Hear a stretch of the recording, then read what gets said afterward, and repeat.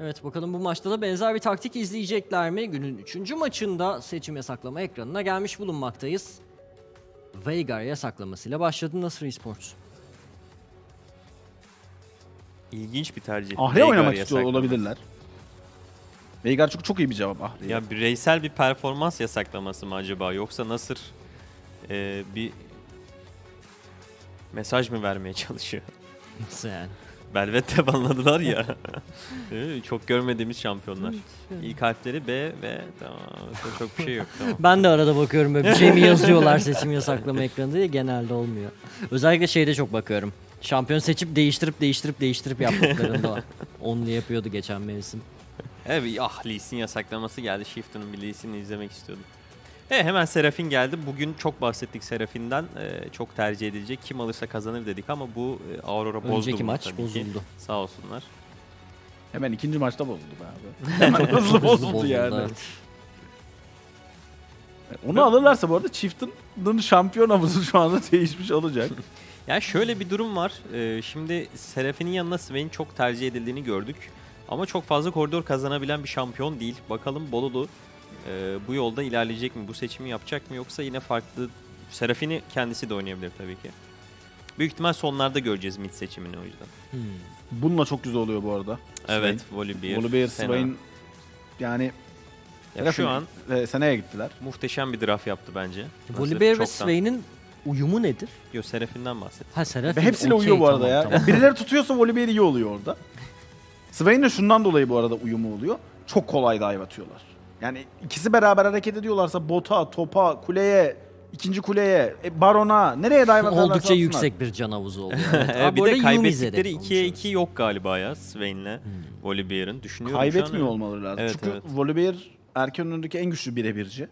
Swain de ölmüyor. Swain de ölmüyor. Bir de orta koridor şampiyonlarında öyle erken oyunda hasarı çok yüksek olan çok bir şampiyon da kalmadı zaten. Evet. Neredeyse hiç harbiden. Ahri bile aslında 6'dan önce çok da fazla vuran bir şampiyon değil.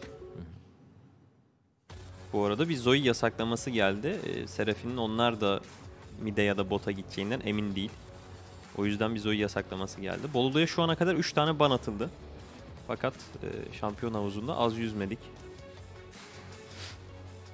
Evet o bitecek şey değil. Bunların hepsini yasaklıyorsun. Zeralt geliyor falan. Zor. Kemil yasaklaması geldi. Kemil yasakladığına göre e, Fayfun'un 10 gibi bir şey düşünüyor olabilir. e, yukarı koridora. Ama hala Gangplank açık. Onlar narı çok tercih ediyorlar. Nara karşı da olur. Ahri banı geldi ve dördüncü ban Bolulu'ya karşı. Şimdi voley varken bir tekli koridor hakimiyeti almanız lazım. Ben o yüzden Serafin'in orta, ortaya gideceğini düşünmüyorum bu maçta. Zaten Serafin Yumi bir şey yapmazlar. Yani yapamazlar alt koridorda. Karşılıklı kasmaya giderler. Mantıklı. Serafin Sena'yla. Mantıklı. Orta koridora biraz daha e, rakibi durdurabilecek, yerine sabitleyebilecek bir şampiyon gelir. Orn banı geldi bu arada. Kendileri yasakladılar Orn'u. Evet. Bakalım Bonk nasıl bir tercih gidecek. Büyük ihtimal son seçimi e, yukarı koridora saklayacak Pfeiffer'in. Şu an orta koridora alacaklar diye düşünüyorum o kadar bandan sonra. Aa yeni fark ettim bu arada. Bong diye deyince jenerik bug'ı Aa, gitmiş sonunda. Bonk kendi account'una girebilmiş şu anda. Hayırlı Jenerik. olsun. Yama ile ilgili Ay, bir sorunu olduğu için Korki geldi. 12.12'ye geçince Evet. düzelmiş. Aslında yani Zeri ile birlikte Korki okey ama early game'i biraz feda etmiş oluyorsunuz. Kog'Maw orta koridor geldi ya. Bu arada ben arada Bolulu'nun yayınını izliyordum. Evet. Oynuyor. Bir de tam bunlara Oynuyordu. karşı oynanıyor ya zaten. Manamuyun'la falan oynuyor. Çok acayip hasar çıkarıyor. Ben de şaşırmıştım Şey izlerken. filtresi var Bolu'da galiba. Ulti menzili 700'den fazlaysa oynarım. Hani sadece buna bakıyor gibi bir his. Bakalım Hadi valla bakalım, karşısında oynayabileceği bir şampiyon var. Korki sana bugün e, yayının başında da söylemiştim. Korki'nin karşısında ne oynarsanız rahatsınız diye. E, Kog'Maw için de harika bir matchup. E, Irelia'yı mide yollamazlarsa öyle bir çılgınlık geleceğini sanmıyorum ama Nara karşı Irelia. Birazcık skill matchup, yetenek matchup'ı. Ama ormancılar burada devreye girecektir. Yukarı koridorda çok fazla kan çıkacağını düşünüyorum. Sana bir şey Tam söyleyeyim onu mi? diyecektim. İrelia çok O cezalandırabilir deliliği sanki. yapmaları daha mantıklı olabilirdi bu arada. Değiştirmeyi mi? İreli- İrelia'yı ortaya göndermek. Çünkü şöyle bir durum var. E, Volibear normal koşullardan evet güçlü bir ormancı ama Kog'Maw erken önü zayıf. Yani Evet. çok bir şey yapmıyor. 2'ye 2'lerde Zinzao Irelia inanılmaz kuvvetli olurlardı. Voli'nin bütün oyun planında da çökertebilirlerdi. Tabii çok olası görmüyorum onu. Oyuncuların çok kolay değil. E, çok üst koridorun alışık olması lazım Korki oynamaya. Evet. Ya Voli 1 aktif olamayacak gibi bir oyun ama e, olabilirse başarılı olacak. Çünkü aşağıya gitse bir şey çıkaramıyor. Ortaya gitse bir şey çıkaramıyor. Yukarı koridorda bakalım neler olacak. Üst koridoru hayatta tutması lazım orada. Çünkü Evet. birebir kaldı mı İreli üstünü kurabiliyor Nara. Birebir bırakmaması lazım orayı. Bakalım ama iyi cevaplar. Ya kağıt üzerinde iyi cevaplar verdi Rune tarafı. Evet bununla beraber günün 3. karşılaşması için artık maça doğru geçiyoruz. Yufoni ve Kaan Kural bizlerle. Bakalım onlar draftlar hakkında ne düşünüyor? Şampiyonluktaki dördüncü haftanın açılış günden herkese merhabalar. Günün kalan maçlarının aktarımında ben Aykut Yufon Özgan, yanımda Kaan Second Best Kural sizlerle birlikte olacağız. Günün üçüncü karşılaşması Nasr ve Run'un arasında ve orta koridora bir Kog'Maw geldi. Geçtiğimiz hafta LAC'de bir Corki kontrası olarak mı alındı bilmiyorum ama orada da oynanmaya başlanmıştı yetenek gücü Kog'Maw. Çok eskilerden biliyoruz ama şimdi yeni yeni yetenek gücü Kog'Maw oynuyor. Ee, ve teknik dereceli de bol bol görüyoruz bu arada. Son dönemin popüler seçimlerinden biri e, AP Kog'Maw. Ee, ve yani biraz evvel Anezması da söyledi. Ya Bollu'ya bu kadar yakışan şey- yani mesafeyi ve pozisyon almayı iyi bilen şampiyonlarda işte Zerat'ı e, şey özellikle tabii ki e, Velkoz'unu Velkoz biliyoruz. oluyor, ölmüyor mesela maç Aynen. boyunca. Ve e, A- AP Kog'Maw'un da neler yapabildiğini oyunun ilerleyen aşamalarında, erken aşamada değil ama ilerleyen aşamalarda biliyoruz. Tam Bollu şampiyonu. Yalnız e, ben gene analizmasına katılıyorum. Aslında bu iki takım olmasa yani Five Ronin ve e, Nasır olmasa bu takımlar e, seçim yasaklamada Ronin'in bir adım önde olduğunu söyleyebilirim açıkçası. Ama e, bu şey demek değil. Yani e, Nasır tabii yani iki takımın da sezon boyunca yaptıklarını biliyoruz. Yani Nasır namalup e, şeyin Fibro'nun galibiyeti yok. Ya ama şu an Serafin o kadar güçlü ki ve bir de Serafin Senna gibi bir ikiliyi aldığınızda e, işte Ormancı Volibear'in en uygun seçim olmayabilir. Belki bir Zinza'yı tercih edebilirdi Nasr böyle bir durumda ama Volibear gibi, Nar gibi şampiyonları destekleme konusunda çok etkili ki e, Kog'Maw'un da hasarı genelde tahmin edilmesi çok zor hale gelebiliyor. Ve hasarı anlık olarak geliyor. Yani Korki belki bir roket fırlatırken bir sıçra refleksi verebiliyorsunuz ama işte o Kog'Maw'un e, yere serdiği o içlikten sızan yeteneğine bir refleks vermek veya hasarını kestirmek zaman zaman zor olabiliyor ki Hiçlikten sı- sızan yetenek dediğin yere kustuğunu diyorsun değil mi? Ya adını söyleyeyim dedim ben çok. Orada Oo! anlatmaya gerek yok. Bu arada kostüm muazzam ya. Kokmama bak. Abi muazzam. hangi kostüm bu ya? Hiçbir fikrim yok ama muazzam. Sevgi kelebeğinin önüne mi geçti şimdi? Kesinlikle. Sevgi Kelebeği bu arada muhteşem bir kostüm. Hani onun e, hakkını teslim edelim ama bu kostüm daha iyi abi. Bu bir de herhalde bir kostümün kroması diye tahmin ediyorum.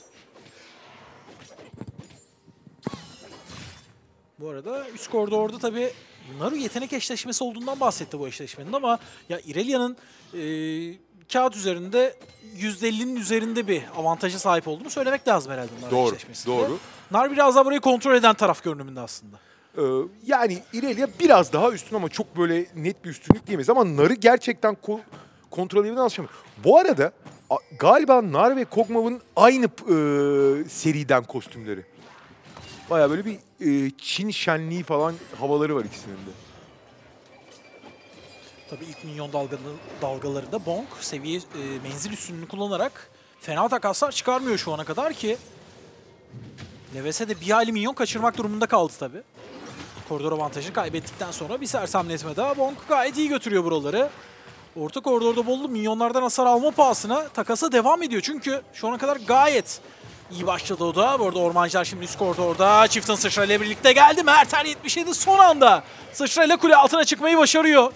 Bakalım devamı istenecek mi? Canlar az. Ama kule hasarı biraz Ya. ürkütücü olabilir burada. Ya şu ana kadar skor yok ama ya iki takım arasındaki oyuncu... Bonk'un üzerine bir hamle. Bonk yeteneğini çok iyi kullandı. LVS kendi sıçrasını kaybetmek durumunda kalacak burada. Ya şu ana kadar şampiyonlardan bağımsız oyuncuların farkını net görüyoruz ya. Ya 700 Boludu. altın fark var hiçbir şey yok. Boludu sıçra ile birlikte bir oyun. Memo'dan son anda sıçra. Biraz da Nasır artık şova döktü iş ya. Bu biraz gereksizdi. Kog'Maw'la bunu yapmazsın. Hani başka şampiyonla yaparsın da Kog'Maw'la nereye kovalıyorsun abi şöyle. Bu artık şey, e, bu biraz hani e, şov maçı gibi Nasır adına. Ve 3 koridorda da baskı sürüyor. Ormanda zaten çiftin gelmesiyle Abi- birlikte. 800 altın fark var. Dakika 3.5 daha ya. Ya milyon Üst farkları... koridorda e, LVS minyon olamadı baksana. Aynen. E, alt, alt koridorda da öyle. Ha, ortada biraz korki almış o kadar. Ellan burada Yampiri'yi de alıyor. Oo. Şimdi orta koridorda bir baskın var. Chieftain hiç tahmin etmediği bir yerden geldi. Memo zaten düşeceğim bari şuradan 1-2 milyon alayım diyor. Ve ilk kan Bollu'ya gitti. Çiftli baskının zamanlamasını mükemmel yaptılar ama. E tabi hatırlayacaksın kule altı pozisyonunda sıçralar takaslanmıştı. Memo hemen ön adım atınca cezayı kesiyor Nasr. S- Skorda Bollu'ya bırakmayı başardılar. Olabilecek en iyi senaryo.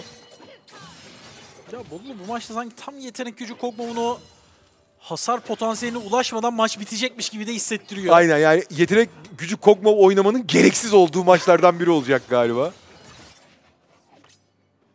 Özellikle Denizbank Wildcats karşısında aldığı galibiyetle beraber Nasr şu anda çok daha farklı bir noktada olduğunu aslında e, ligin ortalama seviyesinin çok üstünde olduğunu da gösterdi o performansıyla. Çünkü en dişli rakibi Wildcats'ın Nasr Esports'un. Ve şu anda karşılarında çok daha mütevazi bir ekip var. Bir üste dönüş orta. Hipnoz yakalanmıyor. Ve alt koridorda da 10 milyonluk bir fark oluşmuş durumda. Peki ya Ellam uzun süredir farklı nicklerle ama aynı isim haliyle e, Şampiyonluk Ligi'nde izliyoruz. Gelişimi ve şu anki süreci, şu an geldiği konum hakkında neler söylemek istersin Ellam'la ilgili? Yani e, biraz inişli çıkışlıydı kariyeri. Yani onu kabul etmek lazım. Hani beklentiler çok yüksekti ilk zaman. Yani çok iyi sezonları ve çok büyük hayal kırıklığı olduğu dönemleri de oldu. Ee, Valla şu anda bu takımda e, özellikle Chieftain öyle bir sezona girdi ki Chieftain Bong ve Bollu'nun üst tarafı uyumu biraz El- Ellam Flash koridoru için bir alan bıraktılar. Ee, şu ana kadar e, şöyle sadece işini yaparak bile bu takımda çok başarılı olabileceğini gördü. Umarım daha büyük şeyler çünkü nişancı olduğunuz zaman daha büyük hedeflerle daha büyük bir saldırganlıkla oynayabiliyorsunuz. Ama bu takımda çok gerek yok. Özellikle bu metada da çok gerek yok. Şu ana kadar gayet o görevi yapıyor ve hani kendi kabuğunda iyi iş çıkarıyor. Ama dediğimiz gibi e, o kabukta kalmayı tercih etmesi ve de onda mükemmelleşmesi lazım. Bir de zaten Nasr'ın oyun planı ve e, düzeneği de o şekilde görünüyor. Evet. Zaten yeterince yırtıcı oynayan oyuncu var takımda. Çift En azından koridor aşaması için. Ya Chieftain zaten yani sezonu öyle bir başladı ki yani etkilenmemek mümkün değil. Ya ben bu arada Chieftain ilk maçını izledim ve dedim ki muhtemelen bu adam MVP olacak bu sezon. Bu arada Bonk biraz fazla ateşli oynuyor? Mega olmak üzere ama şu anda Mega da oldu. Herhangi bir takım arkadaşı da yok yanında. Haritada Dünya baktığım kadarıyla. Chieftain şu anda ejder alıyor. Yalnız biraz evvel Bolu'nun yaptığı gibi Bong da burada biraz ateş, fazla ateşli oynuyor. İrelio bir anda tepesine bini verir valla. Ya manası olsa muhtemelen bu kule altını isteyecekti devamında Leves ama böyle bir şey şimdilik gerçekleşmeyecek gibi. Merter 77'de ejder haberini duyduktan sonra rakibinin üst ormanında şöyle bir kaynak baktı. Fazla içeri Kurtlar alacak. Ama sanırım Bong bunu tahmin ediyor. Hayır, oraya doğru gitmeyi tercih etmedi. Biraz erik giyeyim dedi o. Mevsimdir. Ve dakika 7'de 2200 altınlık bir fark oluştu. Tek bir skorla.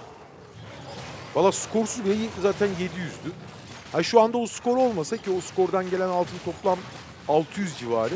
Yani onu çıkar zaten 1800 altın şeyden var. Yani e, skordan bağımsız var yani. Alt koridorda bu arada iki barikat alınmış. Orta koridorda alındı mı acaba? Şu anda net göremiyorum. Yok alınamamış orta koridorda ama bir 320 altında alt koridordan geliyor. Barikatlardan.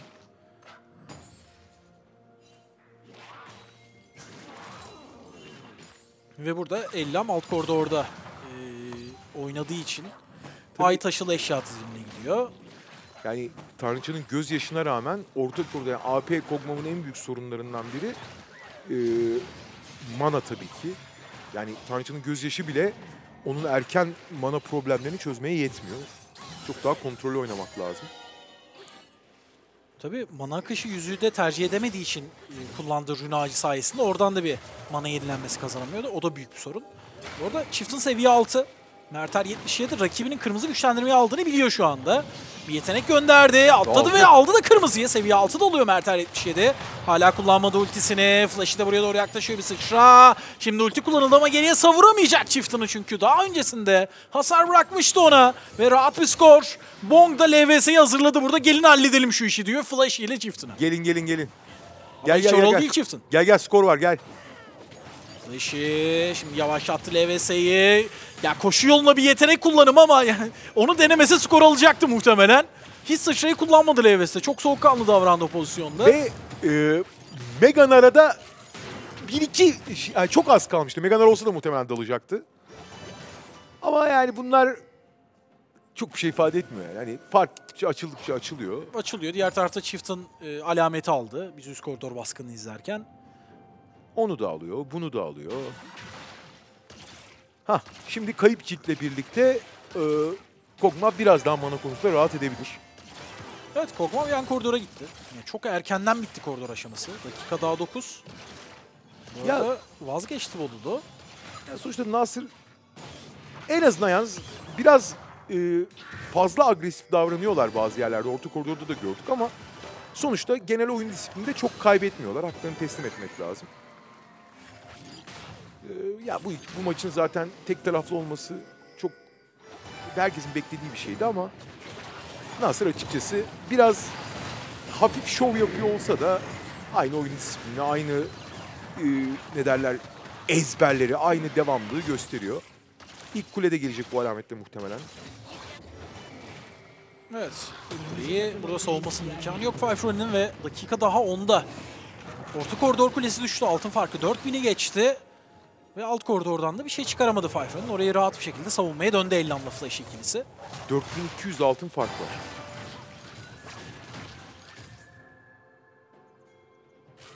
Ve aslında şu dakikalarda Yumi ve Zinzo yani Merter 77 ile Anzi belki birlikte dolaşıp bir şeyler deneyebilirler ama Hipnoz'da kalmayı tercih ediyor Anzi.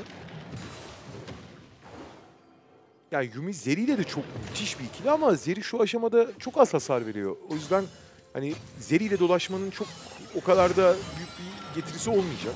Bu arada LVS yetenekten kaçayım derken bir anda sersemletildi orada. Başı dertte olabilirdi ama Bong'un da mega hali sonlanıyor orada ve duvara vuramadığı Yalnız için şey devamını oldu. getirmedi. Uçar bıçaklarla yakına girdi. Yakına girdiği anda kafasına şeyi yedi. Gümü yedi. Yalnız Bong yani çok sağlıklı, full canda. Merter 77 birebir isterse muhtemelen Bong kayıtlayarak onu İki, iki seviye fark var zaten. keser ama dişli kaması var Merter 77'nin. Bu da Evet. kararmaya gidiyor. Bu haliyle onu biraz daha kırılgan yapıyor da bir herhangi bir defansif eşya yok Evet. üzerinde. Ee, Kendi ultisini kullanmak durumunda kalıyor Merter 77. Bonk full canda hiç sorun yok onun için.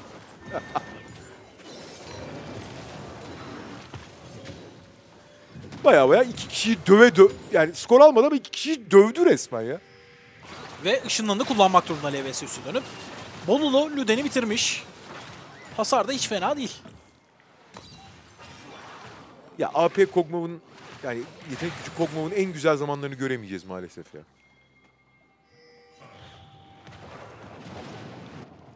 Kırmızı takımın kulesi yerleştirildi. Evet Chieftain'da yapılacak artık çok fazla bir şey kalmadı. Çünkü orta koridordan, alt koridordan ilk kule alındı. Orman kaynakları, rakip orman kaynakları sömürüldü ve sırada ejder var. Mükemmel oyun görür müyüz? Yani görmememiz için bir sebep yok bence. Yani bir savaşta fazla agresif davranıp birinin ölmesi falan olabilir. Çünkü Şimdi yoksa o savaş bu savaş mı? Bu arada Memori'ye girdi ama Flash'i hemen sıçrayla kendini biraz daha güvenli pozisyona çekiyor. ellem hemen canları yeniliyor. Ve mavi güçlendirme de alındı burada. Gromp da alınıyor. Yani Merter 77 artık kaynak bulmakta çok zorlanacak. Geri düşmüş bir takımın ormancısının e, kaynak bulması ve rakip ormancıyla eşit ilerlemesi artık imkansızlaşıyor. Bu tarz senaryolardan sonra.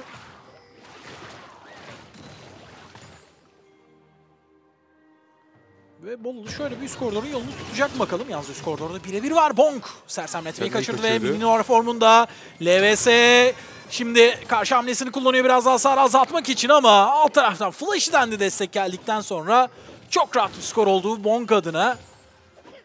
Üst koridordan şimdi barikatları zorlayacak mı acaba? Tabii Mertel 77'nin sanırım buraya geldiğinin haberi var. Yarı canda ama iki seviye fark var. Sıçrası var ama güzel bir hamle.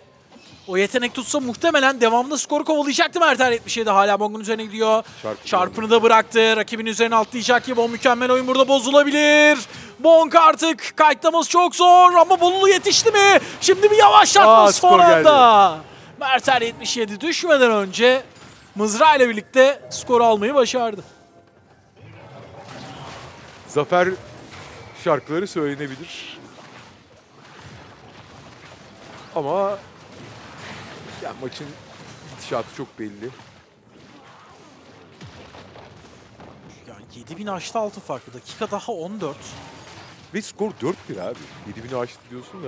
Yani o kadar çok yani sadece şimdi milyon farkı da öyle anormal değil. Ama rakip ormana yani ek- rakip orman, rakip kuleler falan derken anormal bir ekstra kaynak al- almış durumdasınız. Yani biz Nasır'ı şu ana kadar özellikle Chieftain'ın e, bireysel oyunu ve genel olarak makro e, zaman kaybetmemesi yani neredeyse boşa sıfır zaman harcamasıyla ve makro oyunlarıyla övüyorduk. Burada da bireyselden çok yine makro oyununa eziyorlar. Nasıl is- şey e, oyununu. Tabii yani e, 10 sanırım 13 barikat altını kazandılar. Üst koridordan e, dakika 14'ten önce kaç barikat alındı tam emin değilim ama Galiba 3 aldı. Doğru. İlk kulenin ekstra altını, barikat altınları, rakip orman kaynakları şu anda oyuncular arasındaki fark da ortada. 2700 altın sırf orta koridorda var. 2700 altın orta koridor farkı nedir abi? İki skoru tabii Kog'Maw'un almış olması biraz onu daha da dramatikleştiriyor ama 2700 altın bir eşya abi direkt. Ve dakika 15'te bir eşya yani. Zaten herkesin birer eşyası var. Senin iki eşyan oluyor. Hani iki kat fazla eşyan var yani. Peki şunu sorayım. Korki şu anda paketi çok özel. Özellikle takım savaşlar öncesi, görevler öncesi kullanım konusunda ama onu bir kenara bırakacak olursak e, derken sorumlu anlamadan önce burada bir savaş var. Mertel 77. Ultisi onu kurtarmayacak gibi görünüyor ve devamlı da Anzi çok rahat bir skor olacak. Bollu seriye bağlıyor. E, tamamlayayım sorumu şunu soracaktım. E, Kog'Maw'ın Korki'ye karşı bir kontra seçim olduğundan söz edebilir miyiz? Çünkü e, Korki tamamen orta oyundan sonra rakibi dürtmek e, odaklı bir eşya dizimine sahip. Ama bir benzeri hatta zaman zaman daha uzaktan ve daha güvenli alan hasarıyla e, o dürtmeye sahip olan bir şampiyon var. Ee, genelde zaten o tip kontroller yapılabiliyor. O açıdan Kog'Maw e, hard değil ama e, yumuşak kontrol yani. Sert kontrol değil ama yumuşak kontrol denebilir. Ya bu maç tabii bir ölçü değil yani iki takımın yeteneği. Yani ters eşleşmesi, Korki Kog'Maw eşleşmesi olsa muhtemelen Korki'nin kazandığını görecektik. E, Bollu e, memo farkından dolayı ama e, genel olarak senin söylediğin yani Korki'nin o dürtmesini daha uzun menzilden yapabiliyor olmak, menzili koruyabiliyor olmak. Orada kule altı geldi. Kule hemen yok oldu zaten. Çift ulti kullanır kullanmaz. Merter 77 devamında LVS skoru. 8. skoru buldu Nasr. Ve artık inhibitor kulelerine dayanmış durumdalar. Dakika daha 16'da.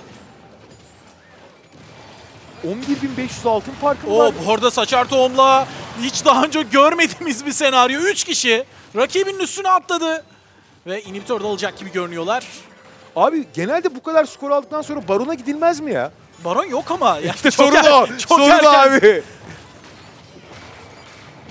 İnhibitor kulesi devamında alt koridor inhibitörünü herhalde zorlamayacak gibi Nas. Çünkü yani Chieftain'ın manası kalmadı. Ve dakika o kadar erken ki az önce skor aldıkları şampiyonlar bir 15 saniye sonra karşılarında yeniden beliriyor. Yalnız e, genelde erken inhibitör almak Çok e, istenmez zaten. Çok istenmez. Rakip e, süper minyonları temizlemek için ekstra kaynak alacak diye. Fakat dakika o kadar erken ki süper minyonları temizlemek de zor. Şey için. Fibron'un için. Hiç dakika 17'de 12 bin altın farkı dediğini hatırlıyor musun bunca Hiç hatırlamıyorum abi. Ve Nasr oyuncular üste dönmeden cebindeki altınları harcamadan burada bir Evet. savaş istiyor. Bonk geliyor buraya ışınlanıyla.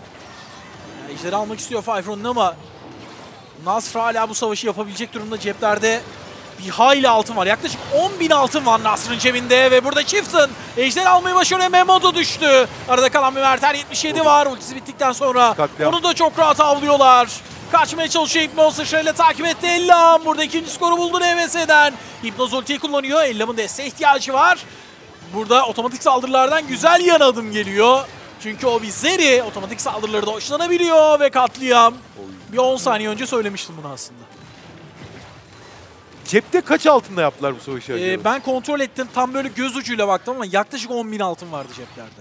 Yani 2000 civarında, 1800 altın civarında altınlar vardı. Hatta şu an evet Ellam gidip altınları eş- harcamış. Diğer oyuncular 2500 altın. Ve oyun bakalım bitirmeyi denenecek mi? İlk Nexus Koleji düştü bile. Neredeyse tüm Five Round'un oyuncuları hayata döndü ama burada Evet, milyonlar da bir hayli iki koridordan da geliyor. LVS arada dans etmeye çalışırken ya Bolu için çok rahat bir skor oldu. Ve 19. dakikada Nasri Sports mükemmel oyunu kıl payı kaçırdı. 15 Bom! birlik bir skorla. Bong ne yaptın Bong? Ah be Bonk. Bu arada Çeşme'de gelen bir skor Bollu'dan. Oyunu bitirmeden orada skorları toplamaya devam ediyor Nazr. Bir deneme daha gelecek sanırım. Ama artık çok daha güvenli yerdiler. 19-13.